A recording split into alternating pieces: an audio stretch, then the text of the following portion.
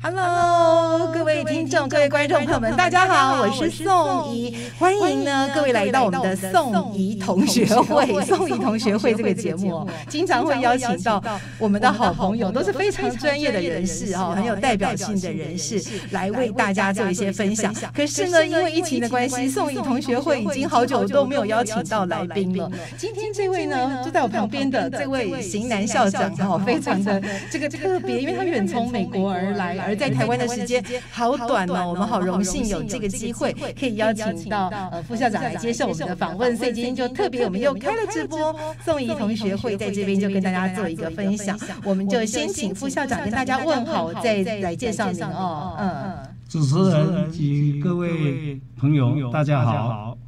啊，谢谢这个这个副校长好亲切的声音哦。因为呢，副校长以前也都是在台湾做过很多重要的工作，后来有到美国去发展。等一下会慢慢的跟大家介绍。那副校长的资历呢？因为噔噔噔噔噔噔这么长啊，刚才还想到说好像有一些漏写的哈啊，没有关系啊，我们就不一一介绍。等一下访问中呢有谈到，我们就自然的介绍。不过我介绍一下副校长，他的现实是在美国的德州，德州健康与科学。大学的副校长啊，今天非常的非常的开心，尤其是疫情的这哦两年多来了，事实上大家的健康如何透过科学的方式，让我们能够维持健康或者是更健康，都变得非常的重要。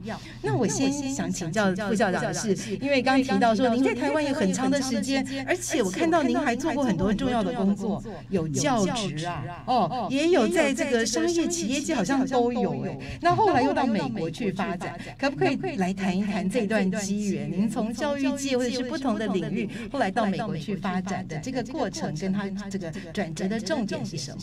嗯嗯，好的好的。首先，我是师范大学毕业以后，在建国中学任教。那在建国中学任教的时候呢，我是觉得本身呢，好像学习的这个专业呢，啊还不够。那时候啊，就有这个想法，想啊到美国啊去深深造，所以呢有了这个动机。啊，在一个这个申请到这个美国的学校的时候呢，我就断然啊辞掉工作啊往美国啊去念书啊发展。是，那您真的是非常的有这种冲锋陷阵的一种，其实是一种开创精神。因为我们讲到这种移民啊，都是要开创精神，因为会离开一个您原来很呃熟悉，甚至于发挥的不错的一个领域，然后到一个新的地方去做这个发展哦。那可是呢，您刚刚说您是师范大学毕业的，又是从事教职，可是我看到您现在所服务的这所学校，好像是医疗方面的，是跟健康跟科学有关。那您又是怎么样走入医疗这个领域的呢？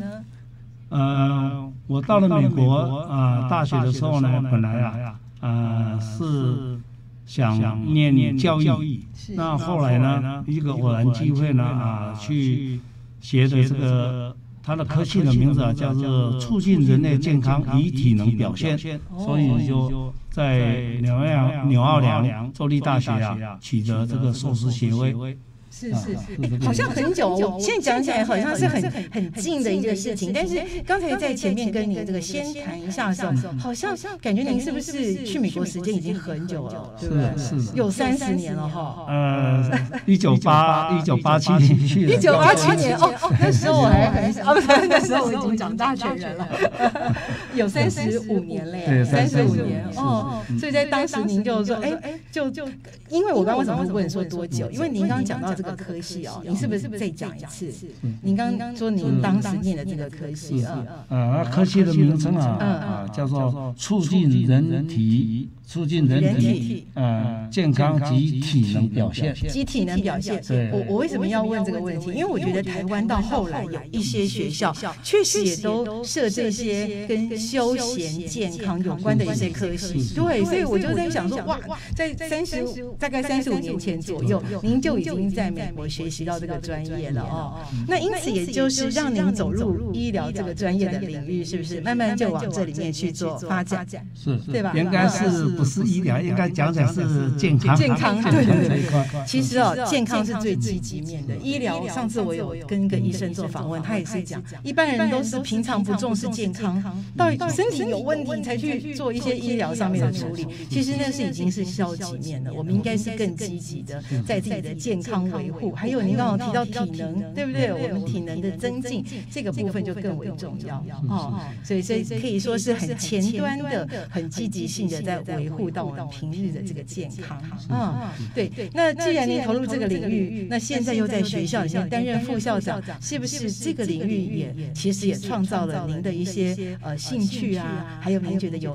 不错的一个发挥空间呢？是是，嗯，去了美国了以后啊，当然了，就是为了这个生活，所以呢啊做了很多的这个行业，但是总是呢有一个这个情节，以前学过这个了，那现在。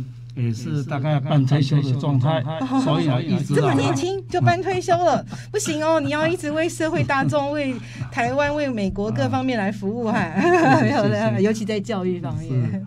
啊，所以呢，啊，总是有这个情节，所以一个偶然的机会呢，又回回到啊这个领域来，那是。想说啊啊，把这个这个大健康这一块呢啊，看看呐能不能。与大家啊共享，让大家身体啊健康，如同那个主持人讲的，是，你等到生病的时候稍微有点突累，就是太太晚了，对对，所以呢，在还没有发生之前，你去预防。所以现在这个医学啊也很注重这个预防医学，对，没错，那是嗯。啊，总比你生病了以后啊，全身啊啊在痛的时候再去医啊来得好。对对，没错。所以后来您可能发觉说，其实教育哦是帮助人的一个很重要的一环跟领域。那其实健康保健也是对吧？所以后来您也就对这个领域就产生了兴趣，而且就是一直的投入。嗯，那我觉得您的这个经验跟例子，其实对于很多的年轻人是很大的一个鼓舞，应该大家也很想知道。因为我觉得现在年轻人的视野哦是会越来越广。因为您看，就像以以一般媒体来说，以前我们媒体大概都看在地的多，现在透过我们的手机，透过网络，哦，那可以说是各地的讯息全部都看得到。也许有一些年轻的朋友也想要到国外发展，那甚至有一些是，哎，我想要到美国发展，那刚好您现在就是在美国有一个很长时间的居住的一个时间点，呃，甚至于有一个职业创业在那边。那如果是年轻人也想要，呃。将来有机会能够去有更多的发挥的空间跟机会，你会建议年轻人哈，在他们现在还年轻的时候，预先培养哪一些的能力跟他的视野这个方面，是不是给我们年轻人一些建议？是，嗯啊呃，我在美国啊呃已经待了三十五年，是，所以呢，对于这个美国的这个社会，包括这个教育啊啊有一点了解啊，所以啊啊跟各位这个。朋友啊啊来分享，我想啊大概是做两个部分。是。啊，如果呢你想要到国外去啊求学或是啊留在那边，大概啊就是两个，第一个你要考量你出去，你念的这个专业是不是美国欠缺的。哦，专业是不是欠缺？对啊，因为这有点像是一种供需的问题，对不对？它欠缺，然后你又有这个专业，那么能够提供当地服务的机会就比较多了哈。对，就比较容易啊留下来工作。是，因为你在美国没有身份的话，你是不能工作的。是，除非呢你是。啊，打算就是去那边学的东西啊，就要回国来服务啊。这个的话呢，可能啊，就是说你在国内的时候就已经锁定了啊，国内你要做哪个啊专业，对对，啊，你就可以回来。那如果说没有，你是想到美国去创业，你可能啊就要先评估看看了，美国啊是哪一些的专业啊比较能留下来啊。如果专业不对的话。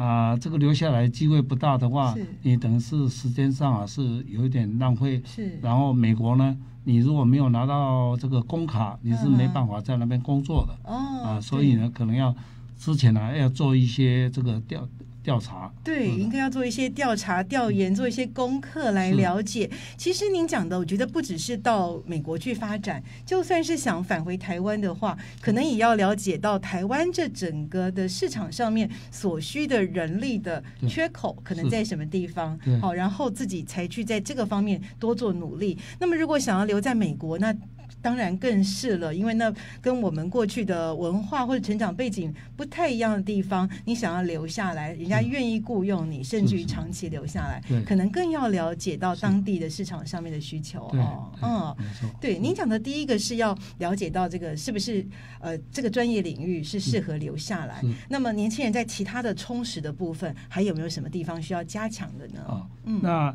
因为到了美国就是。人呃，这个等于是异乡。那美国呢，它的沟通的语言就是英文，所以第一关你就必须把这个英文啊啊加强。哦。去了以后啊，你才能啊融入他的社会。嗯哼。这个语言的加强啊，包括就是说他生活习惯。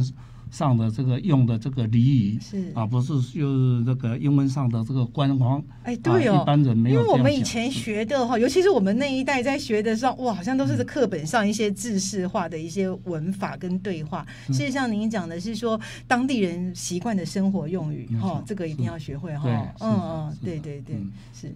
这样啊，对你往后啊留在那边的发展，嗯嗯因为所所有的东西的发展，除了你的专业以外，就是人际关系啊，这个是也是非常的重要。所以要培养自己有个开阔的胸怀，对不对？然后善于交朋友，因为到当地应该很陌生，要去交，就是要跟当地人融入的话，哈，一定这个呃能够交到好朋友，能够大家一起学习、一起努力，是蛮重要的。嗯，对对。哦，对，这个副校长这样给我们一些提醒呢，年轻人可以多加的这个努力。那我另外还想了解哦，那您刚刚说我们要了解到市场上需要什么？那就您的观察，因为像您来说，您是学过教育的，学过商的哦，那么还有对这个医疗哦，我们讲医疗健康，甚至于我知道。贵校哈，你也可以先，要不然先跟我们介绍一下我们这个德州健康与科学大学里面哦最夯的、最这个受大家欢迎或市场上最需要需求的一些专业领域的人才的科系大概是什么呢？嗯。嗯，我们学校啊有一个科系呢。啊，是美国呢，现在啊很欠缺的，很需要的人才的一个科系哦。啊，什么呢？啊，叫做 叫做中中医针灸。中医针灸，哎，真的耶！现在其实我们台湾民众，我们也很多人，我们长期要调养啊，对不对？看中医啊，针灸啊，都蛮多人参与的，而且会越来越会想要去了解到这个部分的这些呃技术或者对我们有帮助的地方。您您说美国也是哦？是，他。是从了一九九三年开始正式承认这个中医针灸啊，在美国。那现在这个市场啊，非常的大。是。那二零一八年呢，这个由美国的呃中医院及参议院通过了以后啊，送到川普啊总统的手上。所以川普在二零一八年签署了，就是说医疗保险一定要。要付这个啊，涵盖吗？涵盖到对，就涵盖啊，涵盖到这个啊中医针灸哦，所以也可以给付，也是正式的一种医疗的一种做法了。对对对对，是的，是的。哦，所以这个一一一下子呢，啊，美国啊有四亿多人口，是那中医师呢啊占这个西医的比例啊啊就是等于是一百比三，所以非常非常的欠缺啊，要找这个。针灸针灸师，嗯，职业的地方啊，是还不太容易找哦。您您刚说那个一百比三是中西医的比例吗？对，中西医的比例是的。但是您觉得这个比例太小了？您您您观察那个比例应该到什么样的一个水位上面是比较合适的？嗯，现在呢，呃，美国啊，他承认了这个中医呢，嗯，就是跟西医呢，它是一个互补，嗯，一个替代，就是说你西医医不好。的话呢，中医呢啊，可以可以来替换，来帮把这个病也可以。有时候可以辅助的，对不对？对对。所以我们预估呢，就是说西医有一百位的话呢，我们不抢它的市场，我们就说 我们不要一百二。对，我们大概啊，就是抓个大概二十 percent，就一百比二十。哦，一百比二十，不用到一百二十了哈，只要一百比二十就可以了。那现在呢，目前呢嗯只有一百比三三 percent，哇塞，那个缺口蛮大的哦，对，缺口蛮大的，所以七哦，百分对之十七，嗯，呃，所以这种人才啊是嗯。非常欠缺的。欠缺。他在这个十七 percent 里面呢，嗯，啊，要培培养啊培养出来达到这个百分之二十的话呢嗯，你看我们这个三 percent 啊，是。在这个美国的这个中医啊是，啊政府承认的这个历史已经走了嗯。三十几年了，哦，才培养出三 percent，是，所以后面的这个十七 percent 呢，还是一个非常大的一个空空间。是的，真的，嗯。啊，所以还是非常非常的欠缺。很需要人才哈，尤其是需要年轻的人来投入。是嗯。是是，不过像您讲的，像这个川普所签署的这个呃法案，自己只有四年的时间嘛，对。哦，对不对？就是医疗上面有给付到中医医疗这个部分，也只有四年，所以其实应该是还真的是刚刚开始的时候，正要往上，就是这个中医在美国扮演的这个医疗的重要性，应该也都是在逐步的提升哦，嗯哈，是跟跟大家说明一下，中医呢，它其实啊，它是从了立法了以后呢，啊，现在的这个资讯非常的发达，对，所以呢，啊，美国人啊，当地的人啊，他接受这个中医的程度非常的高。嗯，但是啊，美国人啊，他们有一个习惯，他们就是每个人就是买保险，因为美国的这个医疗费啊非常的昂贵，嗯，对，啊，所以对他们买了保险。嗯。啊，保险的话呢，他要去看这个中医的时候呢，那时候呢，保险公司啊嗯不支持。啊，哦。就是说不不付费，你要去看，你要自己掏钱。哦，所以呢，有的人为了这个经济的情况啊，就啊就看中医啊就比较少。对啊，那现在二零一八年，他这嗯。川普签署了以后，哦。这个等于是全面的开放。是。那全面开放的概概念是什么呢？就是四亿多人口都可以看哦。啊，整个中整个美国有四亿多哦，全面性的这个开放对哦，对，那你现在整个美国呢，嗯。才才大概这个医生的比例也，才占三 percent，所以呢，很多州都非常的欠缺、哦。啊，欠缺这个中医师。是是是啊是，哎、您说很多州都非常的欠缺，您可以大概举例或者说什么样的范围吗？或者是全面都很欠缺。OK，那这个是一呃人啊，一般都是这样。嗯。那这个中医师呢，啊，他拿到了这个执照以后要嗯开业，是。啊，当然了，人啊都喜欢在热闹的地方。哦，啊人热闹的地口多，对。人流就是金流这样的，那人多的地方、嗯热闹的城市，什么都很方便。是。啊，他呢本身就欠缺了，所以呢，他第一首选就是这个地方。嗯，嗯所以其他啊就比较经济没有那么好的这个州呢是，啊就没人愿意去了哦。啊，就像，就像也可以看得出来那个分布哈，也是是跟经济的关系或人口的比例这些是有关的，稠比较稠密的地方嗯，就可像能资就像。台湾，我们早期我是师范大学毕业的，是那时候呢还还是有工会，所以我们就分发。那 当然了，大家首选呢就热闹的城市啊，是哦比较方便。从台北、新北啊、都会区开始选这样的。那比较乡下的就没人去，嗯那没人去的话，那怎么办呢？嗯那就有一个新的政策鼓励，哦就是说你去那边的话，你工作几年呐、是啊，这个薪水会会高啊。哦，我了啊解有些特别的偏乡啊，比较偏远的地方的一些补贴吧，对哦，这种是必要的。对嗯，啊，所以呢，就嗯就有这个诱因，所以有人才会去。那现在美国不是？对呀、它任其发展的话，对不对？那就只好慢慢慢慢的去补足这一些需求上面的缺口。嗯，不过您提到这个中医扮演的医疗角色，其实，在台湾，我现在也听到很多的状况，其实好多西医也去学中医。对不对？就成为一种整合性、融合性的一些医疗，这样我想是对有需求的民众其实是更好的一种方式。嗯，呃，跟跟主持人啊，那个呃，介绍一下，解释一下，就是说，嗯刚才啊，你有讲，就是说，我们这个是年轻人这样。当然，我们今天是啊，把这个信息告诉希望多的年轻人来。是但是你现在又说啊，很多人啊对这个中医有兴趣，包括就是写以后要啊换西跑道啦，医也学中医啊之类的，啊。就是有经验的人了。是，哎，你是说你是要告诉我说有年龄的人，他是是，为什么呢？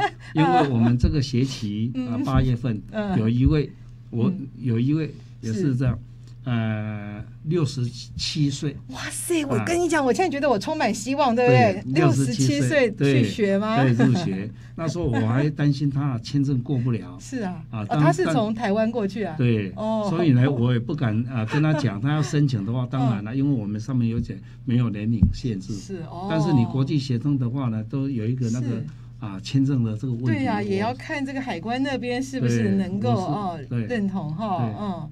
我就怕他签证。移民局那边看怎么样啊？有没有通？结结果他很顺利，顺利通过了。对，所以您现在那边八月之后收了一位六十七岁的学生。没错啊，他呢 啊，真的是对这个中医非常非常的感兴趣哦啊，非常非常的感兴趣啊，非常非常的认真，嗯，很喜欢。他在台湾啊也是高学历的哦，也是高学历的，是。哎，您这样子讲，倒让我觉得说，这可能会让我们这个不管什么年龄了哈，年轻的、中年的，甚至有一点年长的人都觉得，其实人的一生哦，就是要朝自己的梦想哦前进。是是。也许有的人学医，或者他原来不学医，可是他一直有这个梦想，学中医或者帮助别人，好像现在都有机会。您您是不是也认同？就是说，如果有兴趣的人，其实都可以去做这样的一个尝试申请哈。嗯。因为我想啊，就是有人啊工作了一辈子退休了，是那现在的人呢啊退休的年龄啊的的时候啊身体状况都非常好，嗯，非常好的话呢，他可能啊就在寻找哎怎么来，就是刚才啊主持人讲的，就是预防医学，就提早啊来照顾身体，不要等到生病，嗯所以他他无形之中呢就会走到这一个保健这一块了啊这个。这个主呃，这个中中医啊，中药调调理身体的调理哈。那这种东西呢，是这样，你越了解的话，你就好像是一直钻进去哦，它是无止境的，对，一直想。所以有的人好有兴趣，就是这样哈。研究了之后，他就更有兴趣，更深入了解。但很可惜啊，就是说啊，台湾啊，在这个中医类是非常的强，但是它的门槛啊很高，所以你这个学校啊。不容易进去，对。啊，然后呢，这个推广，啊，当然了，可能是外面啊都有人在教这个，但是呢，他是想说学的一个整套的，就是跟学校一样的这个，他没地方学，是是，嗯，啊，所以他啊找到我们学校了，他非常的高兴，哦，啊，就是真的是整套完了以后呢，要考美国的执照。哦，这样子啊，哇，真的是这个圆梦充满了机会。那这样，我想要请教一下校长，因为今天我们本来是想说这个学习呢，对不起，这也是哦，我们自己有刻板印象，觉得要讲学习、讲求学，好像都想到年轻人。当然没有错哦，他们是非常需要的。但是其实现在是一个终身学习的时代，我们也很重视终身学习。那你也刚也讲了，哎，我们的学校里面也是这么开阔的胸襟，在接受各个领域、各个年。龄层的人，那如果啦，现在大家不管什么年龄层的人有兴趣，想要了解哦一些中医学习的呃一些方式，也想要了解我们德州健康与科学大学呃里面的一些招生啊或者一些专业的讯息的话，我们应该透过什么样的方式来了解？我们这个下面哦现在不方便打出来，就麻烦校长来告诉我们。那我在呃大概几个。渠道一个呢，就是上我们学校的官网哦，官网啊，学校官网，嗯哼，是。那官网我们要不要把一些关键字让大家比较好搜寻一下？是是，是我们学校啊，就是英文啊，德州健康与科学大学的那个英文缩写，对不对？对，嗯。所以呢，就是打上了 T H S U 到 E D U 就可以啊，浏览到我们学校的。信息，OK，整个信息，好的。那要是说忘记的话呢，可能啊，你也可以啊，从 Google 去搜索这个。美国中医，美国中医，我们就用中文搜寻美国中医，这样是不是？呃，这样也应该可以跑出，就可以搜寻到了。对，哎呦，影响力好大！只要是美国中医，就会查到我们德州健康与科学大学了。会不会查到陈校长的名字啊？呃，不会，可能你会 你会查到一个我们学校非常骄傲的。哦，是是，是什么什么事情？是我们曾经啊得得到嗯美国总统颁发的哦。最啊最高是。等教育服务奖，最高等教育服务奖，对呀，因为你们是一所很专业的大学，然后是由美国总统颁发的，是的，哟，这个是获得很高的荣誉跟肯定。总统是谁？总统是谁？那时候的 那时候的总统是奥巴马，奥巴马总统，帅帅。嗯，哦，那恭喜恭喜！所以您说查这个资料的话，如果查美国中医，查到贵校的相关讯息，也会查到这个荣誉，就对了。对，就是会查到我们学校一些啊非常骄傲的。啊，一些信息哦，OK，也涵盖了这个被总统颁奖的这一个区块啊。对，那我就也再重复一下刚才校长所说的，如果用我们呃学校英文名称的缩写来查这个网址的话呢，是四个英文字母，是呃 T H S U。然后点 edu 哦，因为我们是学校嘛哈。那但是如果方便一点，要用中文来查，就打美国中医就可以查得到了。对啊，很谢谢校长告诉我们。那因为我们节目时间是有限的，所以呢，我们也差不多快要接近尾声。呃，就是重点的跟校长做一个访问，跟做一个介绍。如果想要知道更多讯息的话，就可以查美国中医哦，或者是 t h s u 点 edu。我有背对吗？对了，我都背起来了。各位，你应该背得起来。好的，我们可以来查查看。那最后还有两分钟的节目时间，校长是不是还有什么想跟大家来分享的呀？是，呃，这个大家如果对中医有兴趣的话呢，这个是一个呃往美国发展非常好的这个一个途径。是，第一个，它本身啊，美国当地人学这个东西对他们来讲非常的吃力，所以你就没有。竞争力啊，对，就减减少，所以他们这个可能有一个文化的一个小小的落差隔阂还是有的，但是就我们来说来学习的话，应该相对是比较容易便利的。嗯，那另外啊，就是说。收入非常的可观啊，收入非常的可观，好，谢谢。对，我想可观就是稳定啦。我想大家也是希望学习了之后，未来有一个稳定的生活。那如果还有不错的收入，那真的是非常的恭喜，非常的好了。一般我们毕业的校友是。都是开两家以上。哦，啊，两家，因为这个呢，他你要有了执照以后，你才能执业。哦，所以这个也是一个保护。是，所以执照的取得呢，你念的人本身就很少了。哦，是。对啊，所以呢，那啊，刚才我们有介绍，就是说美国呢，它是很欠缺这个中医的人才，嗯哼，所以呢，你有这个执照。你就可以开两家。哦，甚至于开三家哦，是那当然收入就可观了哦。我了解了，是说稳定而已哦。所以就是我们有几个步骤了哈。第一个是进来学习，然后取得执照，然后之后其实也因为美国现在在中医上面的医疗需求也大了，所以在这个开业的部分，对不对？至少两家以上可以来进行这个开业，甚至于行有余力还可以呃开业更多家，服务更多人。没错啊。哦，所以这还真的是大家能够去圆医疗梦、圆出国梦，哦，对不对？一个很好的一个机会点哈。是，嗯，好的。那今天非常的谢谢哦，谢谢我们陈文辉校长接受我们的访问。那也很开心哦，听众观众朋友们今天来到我们的宋怡同学会。那希望陈校长，我知道很快又要回美国了，嗯，很快再来啊。哦，这个今天开始哈。返国之后哈，不用这个隔离哈，只要只要这个遵守，对对，遵守中央疫情指挥中心的相关规定就可以了哈。那也希望校长常常回来，也来跟大家分享这些医疗、生活、健康的讯息哦。好，谢谢主持人，谢谢大家，谢谢您接受访问，那我们就下次再见喽，拜拜，再见。嗯。